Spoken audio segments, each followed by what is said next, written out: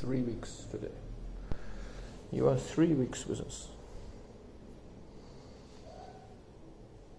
There is hope. There is hair, there is hope. And I would really think that she's hardly itching anymore. At least I don't see her much itching. But the real beauty is yet to come.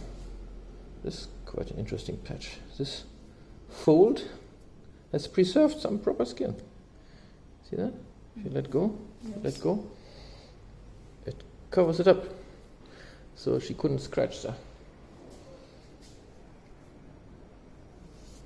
Today we're going to spare you, Bella.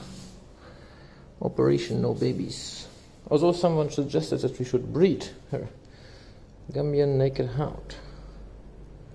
And she's actually older than I thought. I thought she's a young girl, maybe two, three years old, but from the teeth point of view, you are not that young.